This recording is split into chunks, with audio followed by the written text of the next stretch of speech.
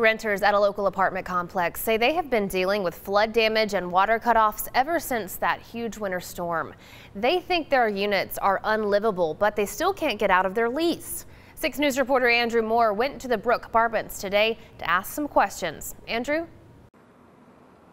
Renters at the Brooke apartment complex have been dealing with rampant water issues since the winter storm hit. They said the water was turned off and turned back on only to have flooding in many apartments. Some renters want to get out of their lease so they can go somewhere else, but they say the apartment complex won't let them.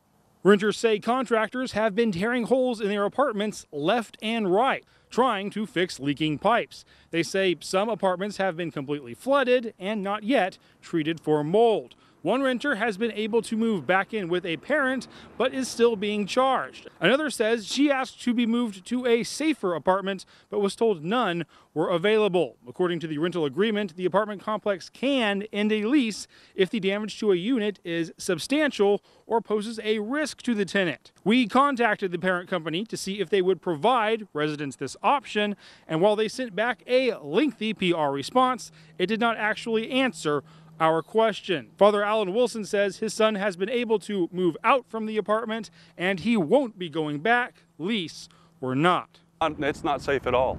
And we're not letting our, our son go back. I mean, that's just not, that's just not an option. Um, you know, with his asthma, with the potential of mold. People forced out of their apartment or who cannot live there during repairs can look for help at disasterassistance.gov with FEMA, though that will not protect you from still having to pay on your lease. Andrew Moore, 6 News.